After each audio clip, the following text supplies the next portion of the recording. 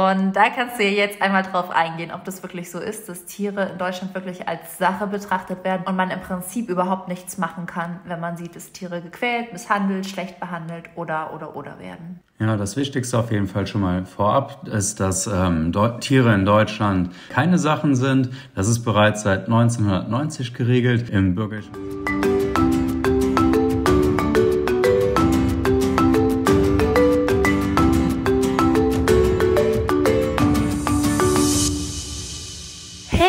Schön, dass du da bist, hier im Affenzirkus Podcast. Mein Name ist Michi und in der heutigen Folge habe ich meinen absoluten Lieblingspodcast-Gast im Podcast zum dritten Mal. Es war noch nie jemand zweimal drin und er musste jetzt schon dreimal hinhalten. Und ich spreche natürlich von meinem Mann Marc. Und dieses Mal werden wir aber gar nicht über uns, unser Leben, unseren Alltag oder auch das Reisen ja als ehrenamtliches Pärchen beleuchten, sondern es geht tatsächlich um Marks Hauptberuf. Denn Marc war drei Jahre lang, jetzt bis dieses Jahr im Oktober, bei der Kriminalpolizei im Bereich Tierschutz tätig, bevor er jetzt ein Dozent an der Polizeihochschule ist und allen Leuten sein Wissen vermittelt. Und deswegen hat er jetzt auch schon ein bisschen Übung im Erklären. Und ich dachte, es ist total spannend und wichtig auch für euch zu wissen, okay, was ist überhaupt Tierschutz in Deutschland? An welche Behörden kann ich mich da wenden? Welche Möglichkeiten habe ich? Wie sind Tierschutzgesetze aufgestellt? Ähm, wie gehe ich vor und vieles, vieles mehr, denn es gibt so viele Fehlinformationen, leider Gottes. Ich lese immer wieder irgendwo in Kommentaren, wenn Tiere gequält werden, dass Tiere ja nur Sachen wären und man nichts dagegen tun kann. Das ist wirklich eine absolute Fehlinfo. Das heißt, bitte hör die Folge dir an. Wir haben es versucht, so komprimiert wie möglich das Wichtigste auf einen Punkt zu bringen. Aber es ist wirklich ganz, ganz wichtig, denn am Ende haben Tiere in Deutschland Rechte. Es gibt Tierschutzgesetze, es gibt verschiedene Gesetze, die die Tiere schützen. Aber diese Gesetze können nur eingehalten werden, wenn wir für die Rechte der Tiere eintreten. Das heißt, mach dich da bitte mit uns stark, nutz die Tipps, die wir in der Folge geben, wend dich auch an die Behörden, wenn du irgendwo ein schlechtes Gefühl hast und ja, unterstütz uns dabei, nicht nur auf internationaler, sondern auch auf nationaler Ebene wirklich dafür zu sorgen, dass Tiere wild, glücklich, frei oder auch Haustiere einfach ohne Leid leben können.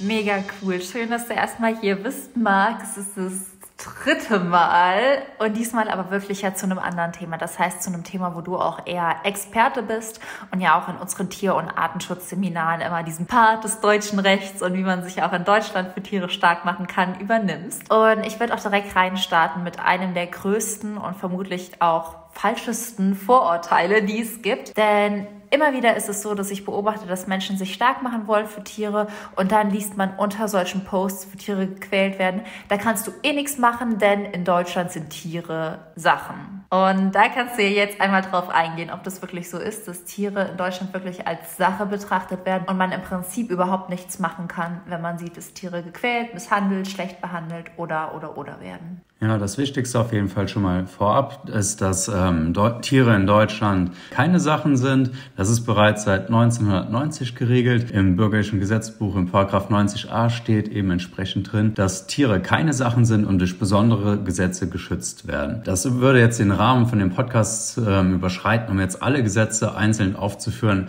in denen der Schutz der Tiere Gegenstand ist. Aber das Wichtigste ist vorab, dass eben sowohl im Grundgesetz, unserem wichtigsten und höchsten Gesetz in Artikel 20a, die Tiere bereits aufgeführt sind, dass sie da geschützt werden, als dann natürlich auch im Tierschutzgesetz, was ja den meisten ein Begriff ist, woraus man schon einfach sehr viele Dinge ziehen kann, wo Tiere geschützt sind, wie Tiere genau geschützt sind. Das sind so, ist das größte Gesetz, das die meisten auch einfach kennen. Dann gibt es natürlich noch viele Landesgesetze und Landesverordnungen und Spezialgesetze, wie zum Beispiel für Hunde. Und auch im Fischerei- und im Jagdgesetz wird der Schutz verschiedener Tiere mit aufgeführt. Und es gibt noch viele mehr. Magst du einmal sagen, trotzdem, was so die Grundlage vom Tierschutzgesetz ist? Weil ich glaube, das ist dann vielen überhaupt nicht bewusst, dass im Tierschutzgesetz jetzt nicht drin steht, dass es Sachen sind, sondern was ist denn so ganz grundlegend da geregelt? Also was sind so die wichtigsten Punkte, dass wir auch wissen, wissen, was ist wichtig für uns. Also so der leitende Satz des Tierschutzgesetzes ist eben, dass Tieren ohne vernünftiger Grund keine Schmerzen, Leiden oder Schäden zugefügt werden dürfen. Und das kann auch sehr weit ausgelegt werden. Das bezieht sich zum einen darauf, äh, zum Beispiel in der Haltung, dass Tiere zum Beispiel nicht in sehr engen Räumen gehalten werden kann, weil das eben zu Leid und auch Schäden und Schmerzen führen kann. Natürlich auch insbesondere der, der Angriff auf Tiere, das Verletzen von Tieren und nicht zuletzt auch das Töten fallen natürlich auch darunter. Der Zusatz natürlich, der äh, mit aufgeführt ist, ohne vernünftigen Grund, eröffnet es dann zum Beispiel dem Menschen, Tiere als Nahrungsquelle zu töten, hat dann aber in der weiteren Ausführung entsprechende Anforderungen, dass das eben schmerzlos erfolgen muss und unter einer erforderlichen Sachkunde, die derjenige, der zum Beispiel die Schlachtung durchführt, das entsprechend ausführen muss. Aber grundsätzlich ist das ähm, insbesondere im privaten Bereich sehr, sehr weit umfasst. Das heißt, da kann schon dem Tier einen Tritt versetzen, es schon Schmerzen und Leiden zufügen und wäre entsprechend schon ein Ordnungswidrigkeit oder Straftatbestand des Tierschutzgesetzes. Mega spannend. Und was sind so typische Be Beispiele vielleicht auch aus deinem Alltag? Du warst ja wie lange? Drei Jahre in der Krippe im Tierschutzbereich tätig. Ähm, was waren so typische Beispiele aus deinem Alltag, wo du auch sagst, das sind typische Fälle und das sind auch Fälle, die man echt unbedingt anzeigen muss? Typische Fälle sind natürlich die, die immer wiederkehrend und häufig auftauchen sind. Und das sind oftmals Sachen, wo Nachbarn eben feststellen, dass der Nachbarshund, die Nachbarskatze schlecht behandelt wird. Das heißt, das Tier wird mit der Leine die Treppe runtergezogen, weil es nicht nachkommt. Oder äh, wenn es nicht schnell genug geht, wird in den Tritt versetzt. Oder man sieht dann durchs Fenster, wie das Tier am Nacken gepackt und geschüttelt wird, weil es scheinbar nicht das macht, was es soll. Das sind hier schon Dinge, wo man echt hellhörig werden sollte, wo man die Augen aufmachen sollte. Man denkt, okay, das äh, fügt dem Tier Leid zu.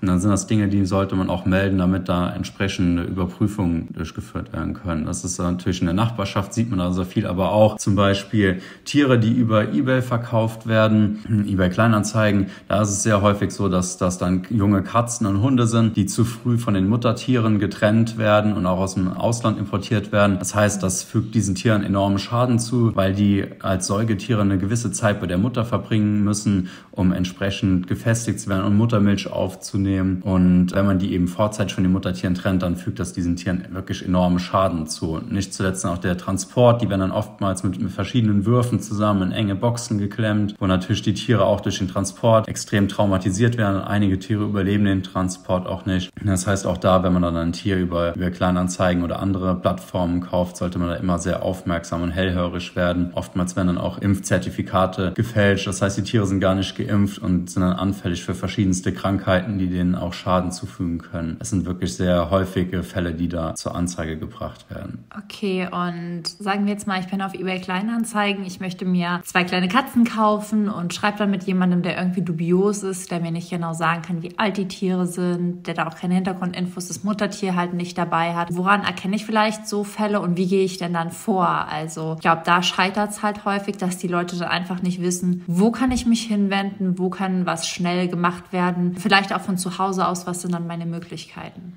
Ja, ich meine, einiges hattest du gerade schon gesagt. Hellhörig sollte man schon werden, wenn die keine Auskunft darüber machen können, wie alt die Tiere sind oder wenn sie mehrere Tiere verkaufen, die aber nicht gleich alt sind. Das heißt, das eine Tier soll dann vielleicht schon 18 Wochen sein, das nächste soll 20 Wochen sein. Dann müssten die ja schon aus verschiedenen Würfen stammen. Das wäre halt schon eigenartig. Wenn da keine Auskunft zu den Eltern gemacht werden können oder generell zur Herkunft, wenn ihr sagt, ich habe das Tier jetzt erst seit zwei Wochen, ich weiß aber nicht, wo es herkommt, aber ich komme nicht klar, möchte es weiterverkaufen, das ist auch schon schon immer sehr dubios. Und auch wenn dann so Übergaben der Tiere an einem Rastplatz, auf einem Parkplatz gemacht werden sollen, das ist auch immer verdächtig, weil normalerweise sollte man als Kaufinteressent immer auch die Möglichkeit haben, zum Beispiel die Elterntiere sich selber anzuschauen, zu schauen, wie hat das Tier vorher gelebt. Das sind halt Punkte, wo man aufmerksam sein sollte. Generell, wenn man dann auch den Verdacht hat, hier könnten Tiere zu Schaden kommen oder man hat auch irgendwas beobachtet, dann gibt es da verschiedene Anlaufstellen. Zum einen natürlich die Polizei, insbesondere wenn man es nicht genau zuordnen kann, wer zuständig ist. Dann ist die Polizei immer zuständig oder kann diese Information an die zuständigen Stellen weiterleiten. Die meisten Bundesländer bieten hier auch die Möglichkeit einer Online-Anzeige an. Das heißt, heißt, man kann das auch bequem und ohne Stress von zu Hause machen, geht auf die entsprechende Plattform, füllt alles aus und sonst kann man so Hinweise auch immer an die Veterinärämter schicken. Umgekehrt schicken die es dann auch weiter an die Polizei, wenn die zum Beispiel da die Zuständigkeit sehen. Veterinärämter sind insbesondere auch bei der Polizei mit involviert, wenn wir Kontrollen vor Ort durchführen, ob die Tiere entsprechend gehalten werden, ob die Schäden haben, wenn zum Beispiel ein Angriff auf die Tiere beobachtet wurde. Und sonst können auch die unteren Tier- und Artenschutzbehörden als Ansprechpartner dienen. Auch die haben ja in der Regel eine E-Mail-Adresse oder Telefonnummer im Internet, die man finden kann. Dann kann man sich mit denen gerne in Kontakt setzen.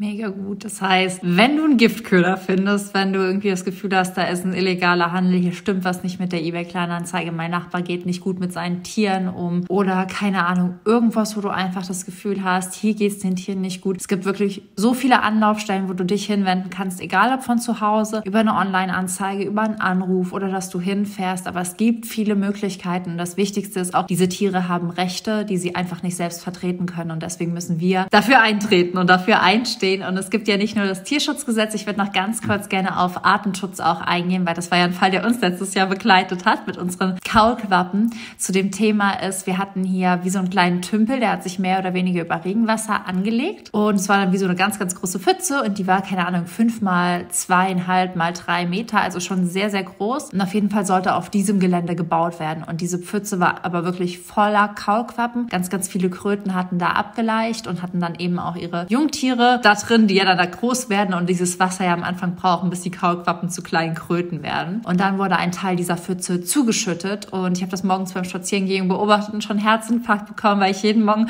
meine Kaulquappen gucke war und so, so glücklich. Ich mag Tiere einfach. Und auch da war es der Fall. Das ist zwar nicht unter das Tierschutzgesetz gefallen, sondern auch unter den Artenschutz. Und auch da, wenn ihr irgendwie Wildtiere habt, auch da gibt es Möglichkeiten, sich stark zu machen. Und du kannst ja dann einmal kurz erklären, was das Artenschutzgesetz so ganz, ganz grob umfasst und was man da einfach wissen sollte, wenn man auch irgendwie Dinge im Wald oder jetzt abgesehen von Haus- und Nutztieren, auch wenn ich diese Begriffsdefinition nicht mag, was man eben für, für Wildtiere auch hier in Deutschland tun kann kann. Ja, also während es beim Tierschutzgesetz ja insbesondere um das Schutz und das Wohlergehen jeden einzelnen Tiers geht, geht es beim Artenschutz ja um insbesondere um den Erhalt der Art und eben alles zu veranlassen, um gefährdete Arten in ihrem Bestand zu schützen. Das ist in Deutschland unter dem Bundesnaturschutzgesetz geregelt, was hier in diesem Bereich das höchste Gesetz ist, was neben dem Tierschutzgesetz, was ja nur Wirbeltiere erfasst, eben auch wirbellose Tiere mit einschließt. Und in den entsprechenden Verordnungen werden auch Listen aufgeführt, wo man dann entnehmen kann, kann, sind die Tiere besonders oder streng geschützt. Streng geschützt ist eben den höchsten Schutzstatus, den ein Tier in Deutschland genießen kann, wie zum Beispiel bei uns dann die Kreuzkröte, die in diesem Tümpel ihren Laich abgelassen hat.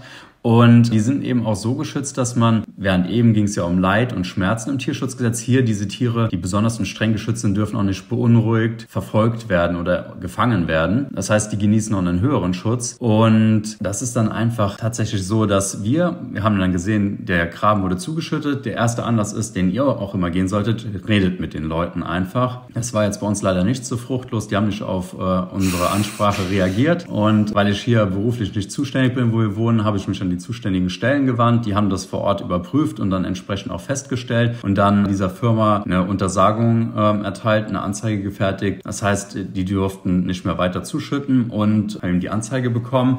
Und es ging ja uns darum, weil das Wasser schon so wenig war. Wir hatten die Angst, dass diese Tiere möglicherweise nicht mehr schlüpfen können. Und deswegen hatten wir uns mit der unteren Artenschutzbehörde äh, zusammengesetzt, mit denen gesprochen und hatten dann ähm, die Lösung gefunden, dass wir diese eben in entsprechend großen Aquarien mit Erde schlüpfen lassen, bis sie halt dann von der Kaulquappe zur Kröte wurden, um sie dann auszusetzen. Und so konnten wir die eben alle retten und alle konnten dann am Ende, als sie dann groß genug waren, wieder in die Wildnis zurück. Wichtig ist hier nur, weil diese Tiere so geschützt sind, dürfen wir die ja auch selber nicht fangen. Das heißt, wir mussten uns diese Sondergenehmigung der Artenschutzbehörde mhm. holen, weil sonst läuft man hier Gefahr, auch wenn man es eigentlich gut meint, sich selber strafbar zu machen. Das heißt, redet da mit den Behörden, die sind ja immer sehr aufgeschlossen und hilfsbereit und dann war es dann eben so möglich, hier für diesen Einzelfall diese Lösung mit den zuständigen Behörden zu finden, weil einfach schon so viel zugeschüttet war, dass das Restwasser Gefahr lief, auszutrocknen. Mega gut. Und was mache ich dann jetzt, wenn ich das Gefühl habe, da ist vielleicht ein Tier, was meine Hilfe Gebrauch? Wo kann ich den Schutzstatus einsehen? Gibt es dann Listen in Deutschland, die ich mir anschauen oder woran ich mich wenden kann? So ein Link für uns oder einen Tipp? Also man kann natürlich zum einen sich die Arbeit machen und in die Bundesartenschutzverordnung reinschauen, in die Anlage 1 und 2, da sind die Listen aufgeführt. Das sind relativ lange Listen, aber man kann auch zum Beispiel auf www.visia.de den Links folgen und da gibt es dann eine entsprechende Suchform und da kann man dann den Namen des Tiers eingeben, findet bei den meisten Tieren sogar ein Bild, das hinterlegt ist und dann einen entsprechenden Schutzstatus, über welche Gesetze die Tiere entsprechend geschützt sind.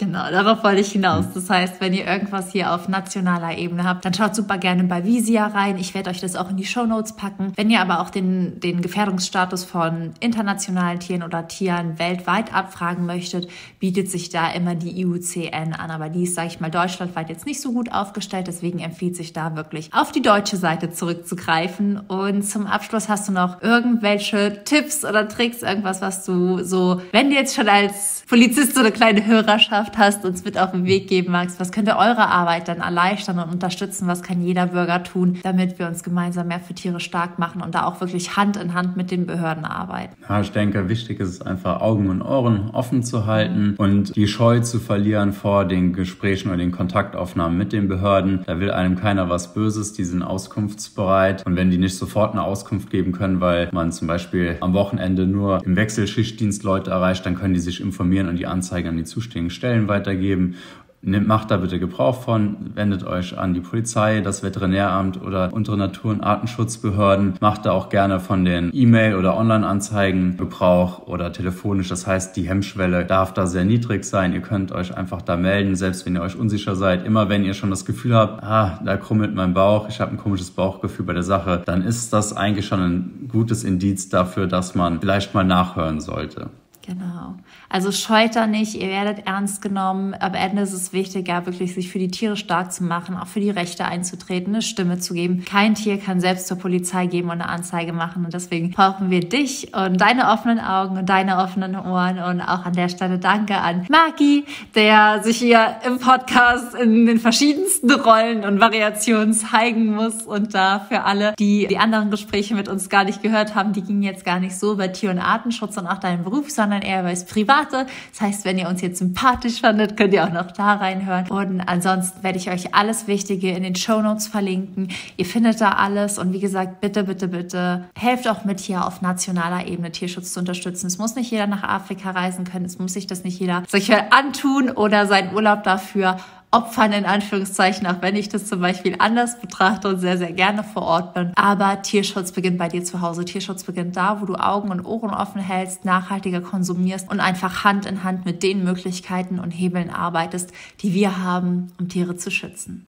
Ich hoffe so sehr, dass dir die Folge gefallen hat und ich würde mich einfach riesig, riesig freuen, wenn du sie mit Freunden teilst, wenn du sie einfach teilst, auch in den Momenten, wo du vielleicht irgendwie siehst, dass jemand gerade nach Hilfe sucht. Wie kann ich mich im Tier- und Artenschutz stark machen, dass du einfach sagst, guck mal hier eine Viertelstunde und alles ist komprimiert zusammengefasst. Wir haben uns echt viel Mühe dabei gegeben und wir sind einfach alle auf dich angewiesen. Niemand kann überall sein, aber wenn man wirklich in jedem Dorf Deutschlands und in jeder Straße einen Menschen hätte, der die Augen aufmacht, der einfach weiß, welche Gesetze es gibt, welche gelten und wo man sich einfach hinwenden kann, dann ging es den Tieren hier so viel besser. Und deswegen hoffe ich einfach, dass du die Folge teilst. Ich freue mich natürlich auch, wenn du den Podcast positiv bewertest mit einer 5-Sterne-Bewertung auf iTunes. Und wenn du auch Themenvorschläge oder andere Wünsche hast, dann schreibe uns super gerne. Ähm, wir haben eigentlich hier ganz, ganz viel Wissen, was wir mit dir teilen können. Und wenn du irgendwo Fachfragen zu hast oder sonst was, sind wir auch für dich da. Das heißt, wir freuen uns, wir gehen diesen Tierschutzweg alle gemeinsam. Und in dem Sinne Sinne sende ich dir jetzt eine große, große Herzensumarmung. Danke, dass du deine Stimme nutzt, um dich für Tiere stark zu machen. Und bis nächste Woche. Alles, alles Liebe. Deine Michi.